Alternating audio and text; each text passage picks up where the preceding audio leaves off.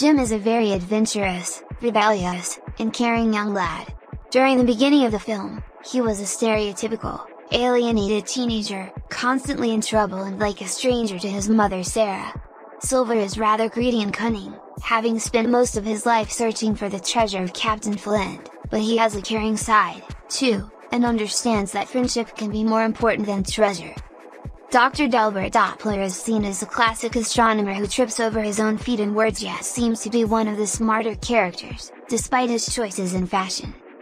Scroop is best described as very cruel, murderous, greedy, manipulative, and devious. Captain Flint was a space pirate renowned by those who knew him as one of the most notorious and feared criminals in galactic history. Amelia is quick-witted, fast-talking, and a force of will. She is proud, strong-minded, businesslike, and scornful of flattery,